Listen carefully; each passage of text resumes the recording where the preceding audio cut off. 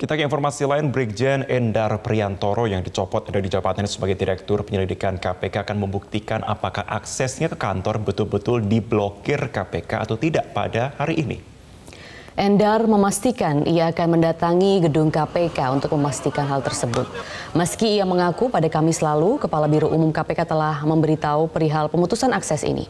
Namun ia ingin memastikannya sendiri pada pagi ini. Sebelumnya KPK menyebut Endar sudah bukan pegawai aktif lagi, sehingga akses masuknya ke kantor anti rasuah diputus usai dicopot dari jabatannya sebagai Direktur Penyelidikan KPK.